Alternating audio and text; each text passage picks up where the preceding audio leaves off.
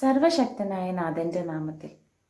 Digital parenting എന്ന വിഷയത്തെക്കുറിച്ചാണ് ഞാൻ ഇന്ന് നിങ്ങളോട് സംസാരിക്കാൻ ആഗ്രഹിക്കുന്നത്. അനവധിയായ സോഷ്യൽ മീഡിയയുടെ കാലമാണിപ്പം അല്ലേ? ലോകത്ത് എവിടെ വെച്ചും ആരുമായിട്ടും സംസാരിക്കാനും സമ്മതിക്കാനും പറ്റുന്നൊരു കാലം. നമ്മുടെ ദിനചര്യകൾ പാടെ തകിടം മറിഞ്ഞിട്ടുള്ളൊരു കാലം. നാം വിചാരിച്ചാൽ ഒരുപാട് ഉയരങ്ങളിലേക്കും അതേപോലെ താഴ്ചയിലേക്കും വീഴാൻ സാധ്യതയുള്ളൊരു കാലം. ഉറങ്ങാൻ പോകുമ്പോഴും ഉണർന്നെഴുന്നേൽക്കുമ്പോഴും നമ്മുടെ കയ്യിൽ മൊബൈലാണ്. മറ്റാർക്കും നമ്മെ നിയന്ത്രിക്കാനാവാതെ നാം തന്നെ നമ്മെ നിയന്ത്രിക്കേണ്ടി വരുന്നൊരു കാലം. നാല് തരം പാരന്റിംഗ് സ്റ്റൈലാണുള്ളത്.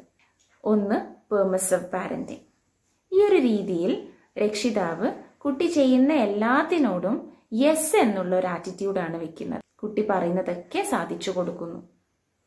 രണ്ടാമത്തത് എതോറിറ്റേറ്റീവ് പേരന്റിങ് ഇവിടെ രക്ഷിതാവ് എവിടെയാണോ നോ പറയേണ്ടത് അവിടെയൊക്കെ നോ പറയുകയും വേണ്ടിടത്ത് സപ്പോർട്ട് ചെയ്യുകയും കുട്ടിക്ക് ആവശ്യത്തിന് വേണ്ട ക്വാളിറ്റി ടൈം കൊടുക്കുകയും ചെയ്യുന്നു.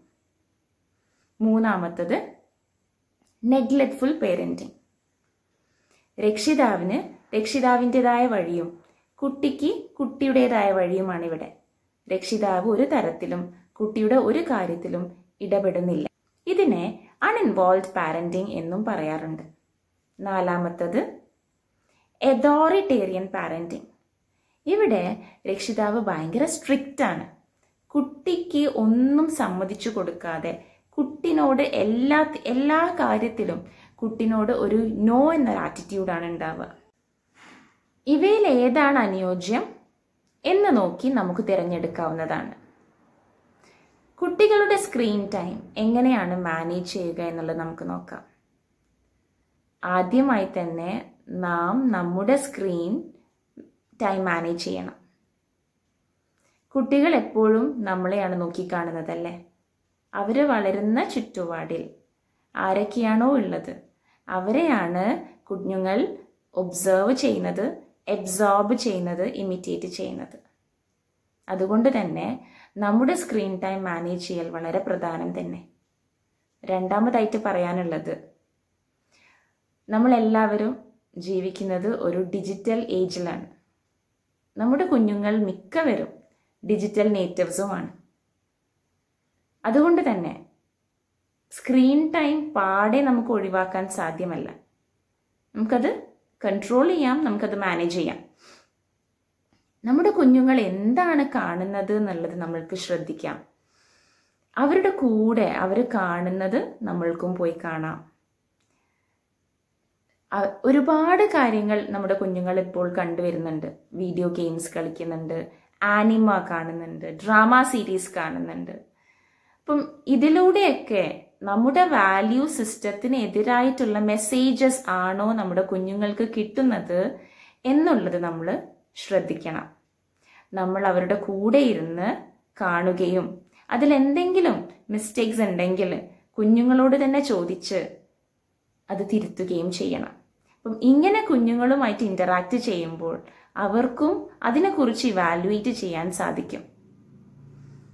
മൂന്നാമതായിട്ട് പറയാനുള്ളത് വളരെ ഫാസ്റ്റ് ആയിട്ട് മൂവിങ് ആയിട്ടുള്ള സീൻസ് വയലന്റ് ആയിട്ടുള്ള കണ്ടന്റ്സ് അതുപോലെ വളരെ ബ്രൈറ്റ് കളേഴ്സിലുള്ള വീഡിയോസ് കോൺട്രാസ്റ്റിംഗ് കളേഴ്സിലുള്ള വീഡിയോസ് ഇവ നമ്മുടെ കുഞ്ഞുങ്ങളെ വല്ലാതെ ആകർഷിക്കും. അവരുടെ അറ്റൻഷനെ പിടിച്ചെടുക്കും. അവരുടെ തലച്ചോറിനെ ഉത്തേജിപ്പിക്കും. അവർക്ക് ഇങ്ങനത്തെ വീഡിയോസ് കാണാൻ വീണ്ടും വീണ്ടും ആഗ്രഹം ഉണ്ടാവും. അത് ശ്രദ്ധിക്കുക. നാലാമതായിട്ട് പറയാനുള്ളത് ഒരു ബൗണ്ടറി സെറ്റ് ചെയ്യണം എന്നുള്ളതാണ്. നിശ്ചിത സമയം സ്ക്രീൻ ടൈമിനായിട്ട് വെക്കുക. ആ സമയം കഴിഞ്ഞാൽ ആ ഗാഡ്ജറ്റ്സ് നമ്മൾ തിരിച്ചു വാങ്ങുക അല്ലെങ്കിൽ ടി വി ആണെങ്കിൽ ടി വി പോയി ഓഫ് ചെയ്യാൻ നമുക്ക് പറ്റണം. നമ്മൾ പറയുന്ന അത്ര ഈസി അല്ല അത്. അതാദ്യമൊക്കെ ചെയ്യുമ്പോൾ കുട്ടികൾ ഷാഠ്യം പിടിക്കും കരയും അവർ പൊട്ടിത്തെറിയൊക്കെ ഉണ്ടാവും. പക്ഷേ രക്ഷിതാവ് എന്ന നിലയിൽ നമ്മൾ ആ ഒരു സിറ്റുവേഷൻ വളരെ കാമായിട്ട് വളരെ സോഫ്റ്റ് ആയിട്ട് നമുക്കത് ഹാൻഡിൽ ചെയ്യാൻ പറ്റണം. നമ്മുടെ കുഞ്ഞുങ്ങളുടെ ഇമോഷൻസ് മനസ്സിലാക്കിയിട്ട് അവരുടെ കൂടെ നിൽക്കണം. ഒരു ബൗണ്ടറി സെറ്റ് ചെയ്യുന്ന സമയത്ത് കുഞ്ഞുങ്ങളുടെ അഭിപ്രായം കൂടെ അറിയുന്നത് വളരെ നല്ലതാണ്. അങ്ങനെ വരുമ്പോൾ അവർക്ക് ആ റൂൾസ് ഫോളോ ചെയ്യാൻ അത്ര ബുദ്ധിമുട്ടുണ്ടാവില്ല. അഞ്ചാമതായിട്ട് പറയാനുള്ളത് സ്ക്രീൻ ടൈം മാനേജ് ചെയ്യുന്ന സമയത്ത് നമുക്ക് കുറച്ച് ഫ്രീ ടൈം ഒക്കെ കിട്ടുന്നുണ്ടല്ലേ?